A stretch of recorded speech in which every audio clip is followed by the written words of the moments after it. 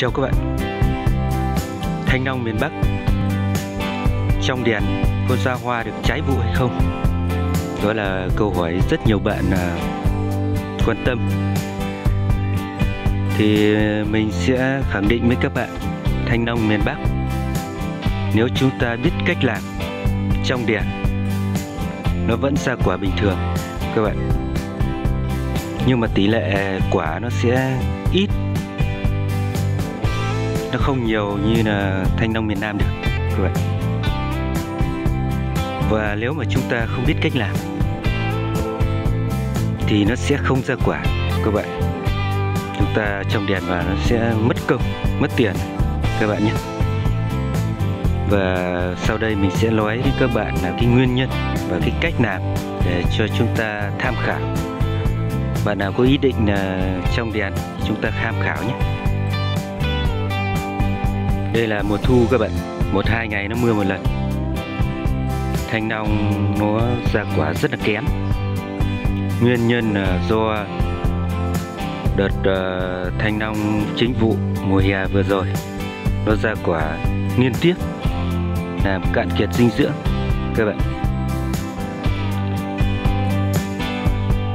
Và nó kèm theo là mưa nhiều các bạn. Làm cho gốc lúc nào nó cũng ẩm ướt làm cho thanh long nó ra quả rất là kém. Các bạn muốn làm cho nó ra quả vào cái thời mùa thu này, thì các bạn là hạn chế cái lượng nước mưa ở dưới gốc cho nó. Các bạn, bằng cách là chúng ta giải bạt hoặc giải ly lông ở dưới gốc, các bạn. Và khi mà trời nắng chúng ta lại bỏ bạt ra. Trời mưa thì chúng ta phủ bạt vào. Như mình đã nói, thanh long nó muốn ra hoa thì nó cần một cái thời gian ủ mầm hoa các bạn. Có nghĩa là nó không tự được tưới nước trong vòng một tuần cho đến 10 ngày, các bạn nhé. Để gốc nó thật khô thì nó ra quả rất là sai, các bạn. Đó. Kèm theo là chúng ta bón phân nân, các bạn, để nó tăng dinh dưỡng cho cây, để nó ra quả, các bạn. Đó. Nếu chúng ta biết cách làm vào cái mùa thu này, thì nó vẫn ra quả bình thường.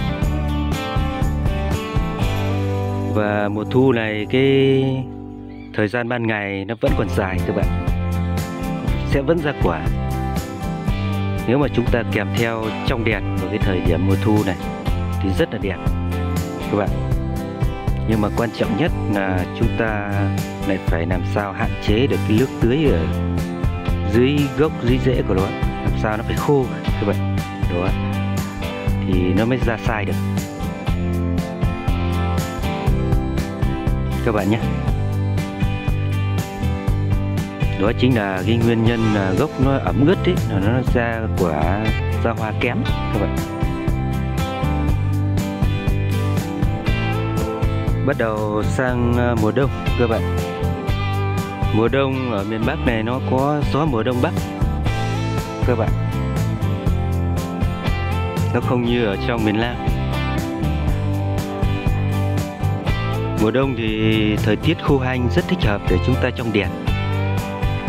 Nhưng mà khi mà bắt đầu cái lụ hoa nó bắt đầu lẩy lên đấy các bạn, mà nó gặp phải cái gió mùa đông bắc làm, nó làm cho hoa bị thui, khô và đen hỏng các bạn nhé.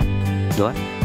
Nhưng mà khi mà hoa nó to này bằng ngón tay cái, hoặc là ngón tay út này, mà nó gặp phải cái gió mùa đông bắc, thì có một số hoa nó sẽ bị hỏng các bạn. Và một số hoa thì nó vẫn phát triển bình thường các bạn nhé. Đó. Thì nó đỡ ít bị hỏng hơn còn đâu khi hoa nó to lên nữa thì nó gặp gió mùa đông bắc thì cũng không sao cả các bạn. Nó nguy hiểm nhất là nó gặp gió mùa đông bắc khi mà bắt đầu lấy mầm hoa các bạn. Đó đó chính là nhược điểm mà thanh long miền bắc gặp phải khi mà chúng ta trong điện các bạn.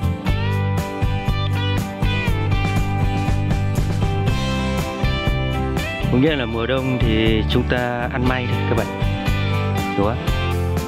nhưng mà mùa đông này thì lộc nó phát triển rất là mạnh, các bạn. Nếu mà chúng ta không chăm sóc, không biết cách thì sẽ không ra quả được. Thanh long trái vụ, các bạn. Tại vì sao? Tại vì lộc nó lấy lên là nó sẽ hút hết dinh dưỡng, các bạn. Nó không để cho dinh dưỡng nó di chuyển xuống dưới tay này để ra hoa được các bạn. Còn đâu nếu chúng ta muốn ép nó ra hoa vào cái thời điểm đó thì chúng ta phải tỉa hết lộc các bạn nhé. Đó. Không để lộc nó phát triển thì chúng ta phải kiên trì cơ các bạn. Phải kiên trì cái thời điểm này. Vì là chúng ta phải tỉa lộc thường xuyên ấy, các bạn. Vì là lộc nó thời điểm này nó phát triển rất là mạnh. Cắt lọc này nó lại ra lọc khác các bạn nhé. Đó đấy là bạn nào mà có ý định trồng đèn để cho nó ra hoa trái vụ? Các bạn còn đâu mình sẽ nói sang mùa xuân. Sang mùa xuân thì cực kỳ kém các bạn nhé. Thì chúng ta nên trồng đèn vào cái thời điểm cuối mùa xuân thôi để nó cho nó ra hoa cái mùa hè nó sớm các bạn. Thì uh, tại sao mùa xuân nó lại kém vì là mùa xuân ở miền Bắc này nó mưa dầm, ẩm ướt và lúc đó lộc nó lẩy lên rất là mạnh. Nhất là cái thời điểm đầu mùa xuân ấy các bạn. Thì ờ, các bạn cắt đi nó lại lẩy lộc lên.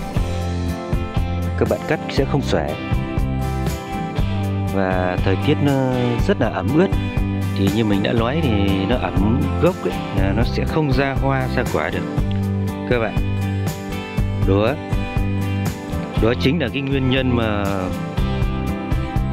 cái mùa xuân này nó kém. Còn đâu mùa đông mùa thu thì các bạn à, trong đèn nếu chúng ta biết cách làm chăm sóc phân bón tốt thì nó vẫn ra quả nhưng mà tỷ lệ quả nó sẽ không cao các bạn như trong miền Nam đâu. Thì đấy thì các bạn à, có tham khảo chúng ta có nên trong đèn hay không thì tùy ở các bạn.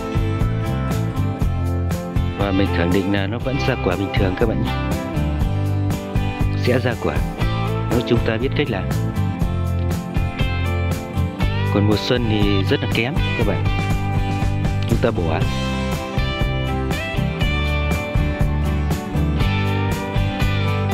video hôm nay mình giới thiệu đến các bạn là thanh long miền Bắc trong đèn nó có ra hoa ra quả trái vụ được hay không? Đến đây là hết. Các bạn thấy hay thì like, đăng ký nhấn chuông ủng hộ, chia sẻ kênh mình nhé. Xin chào và hẹn gặp lại các bạn video lần sau.